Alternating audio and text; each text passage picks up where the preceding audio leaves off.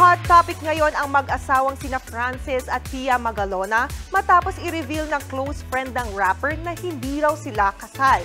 Nasa frontline na balitang yan si MJ Marfori. No one broke your marriage, dear. Yan ang pasabog ng matalik na kaibigan ng yumaong rapper na si Francis Magalona. Kaugnay sa relasyon nila ng asawa niya na si Pia Magalona. Kasunod ito ng paglantad ng dating flight attendant na si Abigail Rait sa isang vlog. Sa kanyang Facebook post, sinabi ng concert producer na si Robbie Taroza na kasal umano si Pia sa ibang lalaki at hindi siya kasal kay Francis M. sa Pilipinas. Chika pa ni Robbie, hiwalay na rin daw sila nang pumasok sa buhay ni Francis M. si Abigail.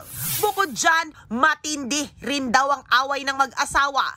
At speaking of familia, ni-reveal din ni Robbie na may iba pang love child ang master rapper. Sa exclusive chat ni Robbie sa News 5, sinabi niyang dapat na rin daw lumantad ang iba pang anak ni Francis M sa ibang babae. Hindi naman daw sa itinatago pero sabi ni Robbie ay hindi lang daw ito ginawa ng issue ng rapper. Mismong si Francis M daw ang nagkwento sa kanya tungkol dito. Pero sa huli, si Abby raw talaga ang mahal ni Francis M.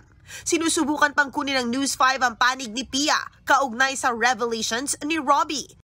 Ito bang pag At speaking of pamilya, sa online show mismo ni Frontline Pilipinas anchor Julius Babaw, humarap ang anak umano ni Francis M. kay Abigail na si Francesca Rait. Sabi ni Francesca, siya raw talaga ang may gustong lumantad sa publiko. Mentally and emotionally strong din daw si Francesca sa kabila ng kaliwat kanang bashing. I don't get affected po kasi po I know the story.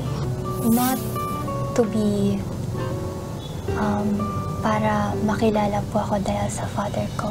Pero I want to start my own image? image po.